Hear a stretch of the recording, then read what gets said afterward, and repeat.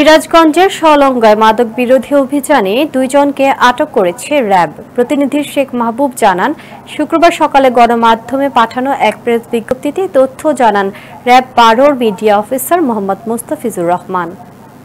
এ সময় তিনি জানান, শুক্রবার গভীর রাতে গোয়েন্দা তথ্যের ভিত্তিতে সিরাজগঞ্জের ফুড ভিলেজ হোটেলের সামনে অভিযান চালিয়ে দুইশো গ্রাম হেরোইন সহ একজনকে আটক করে র্যাব। অপরদিকে জেলার ধোপাকান্দি ব্রিজ এলাকা থেকে এক হাজার তিনশো সত্তর পিস ইয়াবাসহ একজনকে আটক করা হয়। পরে তাদের বিরুদ্ধে মাদকদ্রব্য নিয়ন্ত্রণ আইনে মামলা দায়ের করে সলঙ্গা থানার হস্তান্তর করে র্যাব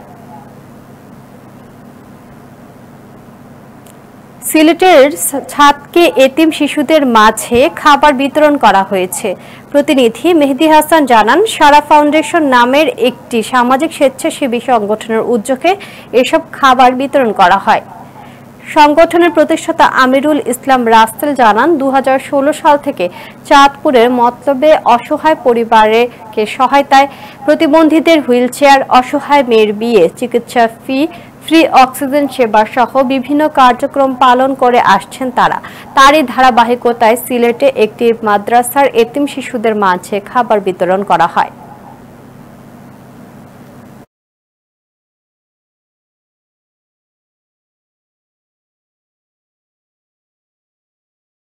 ময়মনসিংহের গফরগাঁয়ে পূর্বশত্রুতার জের ধরে এক কৃষকের এক একর জমির পেঁপের বাগান নষ্ট করার পায়তারার অভিযোগ উঠেছে স্থানীয় একটি মহলের বিরুদ্ধে। উপজেলার যাত্রা সিদ্দিক গ্রামের কৃষক সিদ্দিক মিয়া জানান, জমিতে পানি নিষ্কাশনের একমাত্র নালাটি বন্ধ করে দেয় তারা। প্রতিনিধি মতিউর রহমান মতি জানান, পেঁপে বাগান করতে ইতিমধ্যে প্রায় দুই লাখ টাকা খরচ হয়েছে কৃষক সিদ্দিকের। বাগান থেকে বৃষ্টির পানি সময় মতো নিষ্কাশন না হলে সবগুলো পেঁপে গাছ মারা যাবে। গ্রামের কয়েকজন ব্যক্তিবর্গ অভিযুক্ত ফৌজউদ্দিনকে ফয়েজউদ্দিনকে এ বিষয়ে সুপারিশ করলেও কোনো কথাই শুনছেন না তিনি। পরে সিদ্দিক পাগলা থানা অভিযোগ করলে সরেজমিনে এসে বাগানের পানি নিষ্কাশনের ব্যবস্থা করে দেয় পুলিশ।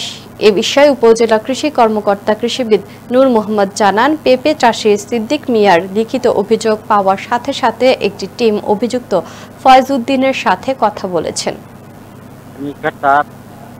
অনেক কষ্টের অনেক কিছু করিয়া কাজ করছি রেন্ট ভিন করিয়া আমার ছেলেরা ঢাকাতে হ্যান কামাই করে পয়সা করে দিচ্ছে দেওয়ার পরে প্রশাসন, কৃষি অফিসার সবাই অবগত। চেয়ারম্যান অবগত তারপর ফাইনাল ছাত্রী যাচ্ছে না এখন ধান কাটতে লাগছে। প্রতি ক্ষেত তারপর ফাইনাল সার্ভার দিতেছে না।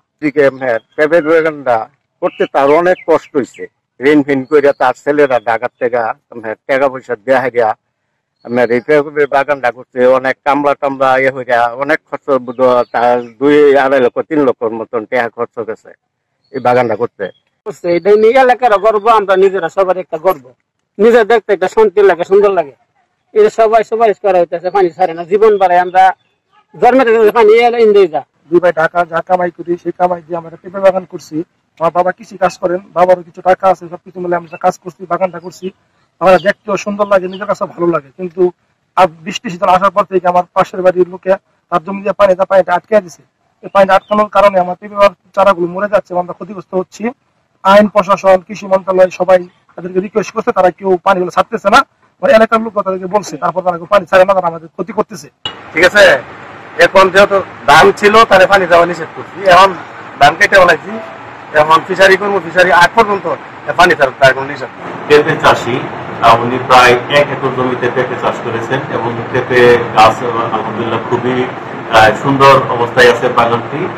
আমরা পর্যবেক্ষণ করেছি, কিন্তু সম্প্রতি উনি একটি অভিযোগ নিয়ে আসছেন যে বৃষ্টির পানি নিষ্কাশনের জন্য তার পার্শ্ববর্তী জমির মালিক পানিটা নিষ্কাশন করতে বাধার সৃষ্টি করছে। আসলে এটি একটি খুবই পানি সেন্সিটিভ একটা ফসল, যে পেঁপে গাছের গোড়ায় যদি পানি জমে থাকে, তাহলে খুব দ্রুত পেঁপে গাছটা মারা যেতে পারে।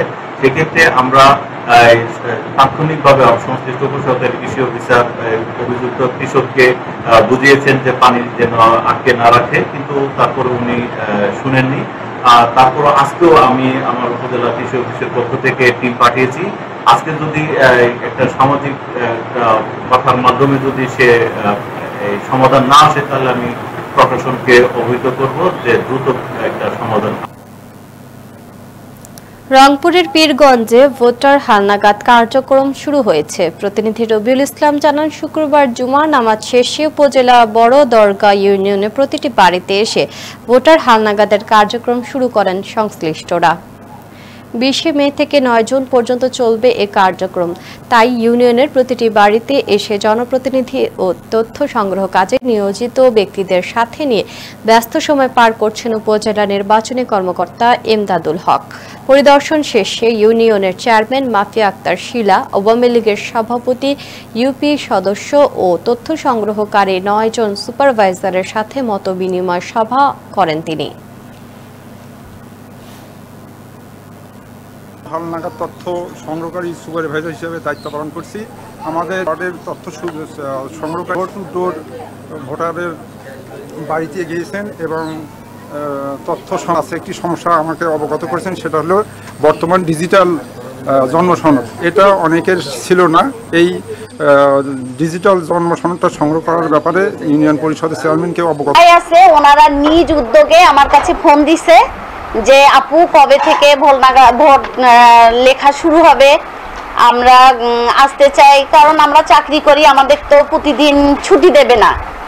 তো আমি সেক্ষেত্রে আমি বলে দিছি যে, বাসা থেকে যেন তোমার নিবন্ধন লিখতে আসছে, তাদেরকে দিবা এবং মা বাবাকে বলে দিবা যে, ওরা যেন সুন্দরভাবে ওইটা দেখে, ভোটটা লিখে, আর যেদিন ছবি ওঠানো হবে, ওরা নিজে এসে ছবি তুলে যাবে।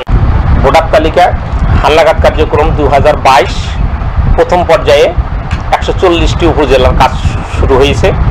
এর মধ্যে রংপুর জেলায় দুইটি, রংপুর সদর এবং পীরগঞ্জ। পনেরোটা ইউনিয়ন এবং একটি পৌরসভার জন্য প্রতি ওয়ার্ডের জন্য একজন করে তথ্য সংগ্রহকারী হিসাবে একশো চুয়াল্লিশ জন তথ্য সংগ্রহকারী নিযুক্ত আছে এবং প্রতি ইউনিয়ন অথবা পৌরসভার জন্য দুইজন করে, অর্থাৎ ষোলো জন বত্রিশ জন সুপারভাইজার আছে। শেরপুরে নালিতাবাড়ি চার নং নয়াবিল ইউনিয়ন পরিষদের জরাজীর্ণ অবস্থা। এই ইউনিয়ন পরিষদের ভবনটি নির্মিত হয়েছে দেশ স্বাধীনের পূর্বে। জরাজীর্ণ ভবনের চাল আর প্রয়োজনীয় আসবাবপত্র না থাকায় এলাকাবাসী নথিপত্র সংরক্ষণে অসুবিধা হচ্ছে। প্রতিনিধি মঞ্জুরুল আহসান জানান, নালিতাবাড়ির বারোটি ইউনিয়নের মধ্যে দশটিতে নির্মিত হয়েছে আধুনিক ভবন।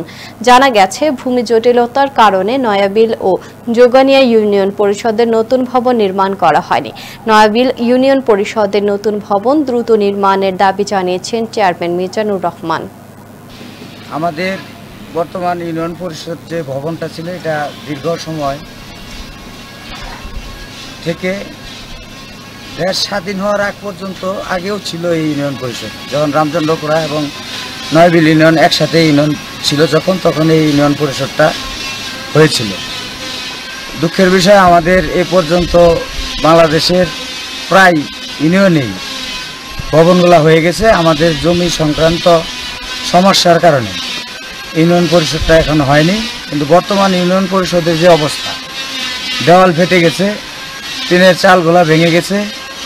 এখন বৃষ্টি হলে পানি পড়ে এবং ঘরের অবস্থা এত খারাপ যে কোনো সময় এই দেওয়াল ধসে পড়তে পারে। তাই আমরা খুব ঝুঁকিপূর্ণ অবস্থায় আছি। ইউনিয়নের জনগণ, এই ইউনিয়ন পরিষদে প্রতিদিন শত শত মানুষ আসে। কখন এখানে দুর্ঘটনা ঘটে আমরা বুঝতে পারতেছি না। তাই ঊর্ধ্বতম কর্মকর্তার কাছে আমি অনুরোধ করছি যে আমাদের অতি দ্রুত আমরা কিছু জায়গার ব্যবস্থা করেছি। অতি দ্রুত যেন আমাদের এই চার নং নয়বিল ইউনিয়ন পরিষদ ভবনের একটা টেন্ডার হয়, যে আমাদের মাননীয় সংসদ সদস্য বেগম মতিয়া চৌধুরী কাছে আমাদের অনুরোধ, আমাদের দ্রুত এই চার নং নয়বিল ইউনিয়ন পরিষদ ভবনটা যেন তাড়াতাড়ি টেন্ডার করে দেওয়া হয়। এই ব্যাপারে আমাদের মাননীয় সংসদ সদস্যের কাছে আমি বিশেষভাবে অনুরোধ জানাচ্ছি।